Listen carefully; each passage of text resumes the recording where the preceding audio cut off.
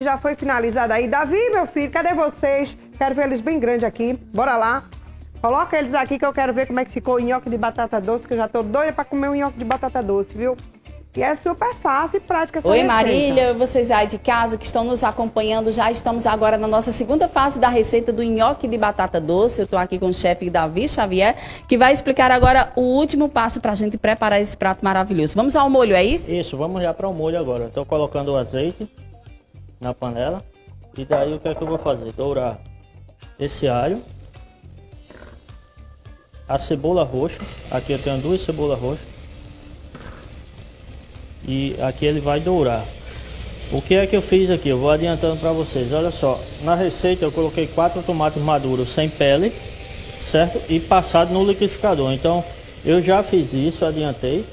E aqui já está tomate. São quatro tomates que eu tenho aqui sem pele passada no liquidificador. E aí eu vou misturar com o tempero. Vou misturar com tempero. Agora vai entrar o frango desfiado. Aqui eu tenho meio quilo de frango desfiado. Lembrando que para montar esse prato eu não vou usar tudo, mas aí eu posso fazer o restante da receita que está ali e utilizar todo esse preparo aqui.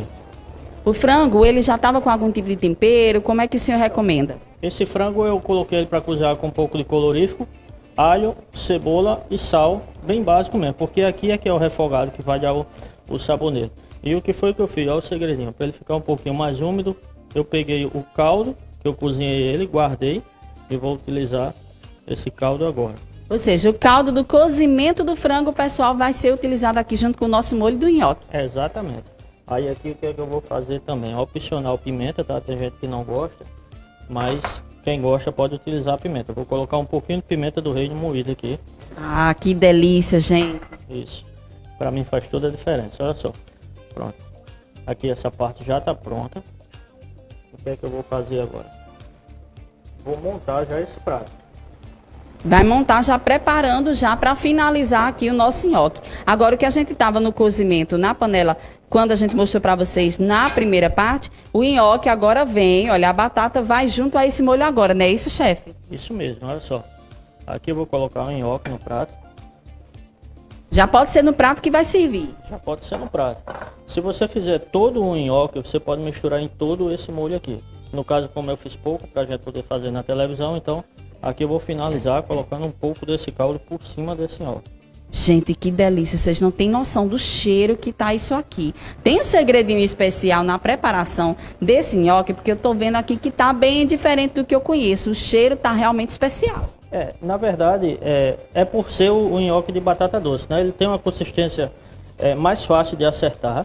Esse aqui que eu estou colocando em cima agora é um pouco de queijo mussarela, tá? E também um pouco de queijo parmesão.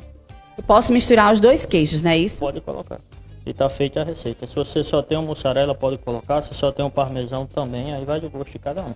Ou seja, rapidamente, em menos de 5 minutos, a gente montou esse prato. Eu vou sentar aqui na mesa do chefe Davi e vou experimentar essa receita maravilhosa e rapidinha que a gente fez para vocês, o nhoque de batata doce. É muito comum ter o nhoque de batata inglesa, mas o de batata doce é a primeira vez que eu vou experimentar, Marília. Vamos ver.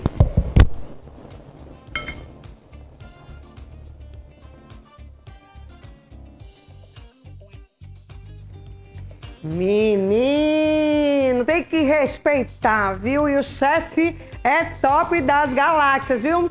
Delícia do Brasil, um beijo grande pro chefe Davi, Xavier, segue lá ele, eu tenho certeza que vocês vão amar, fazer receitas maravilhosas. Um beijo, viu, chefe Davi? Arrasou! E olha, gente, agora.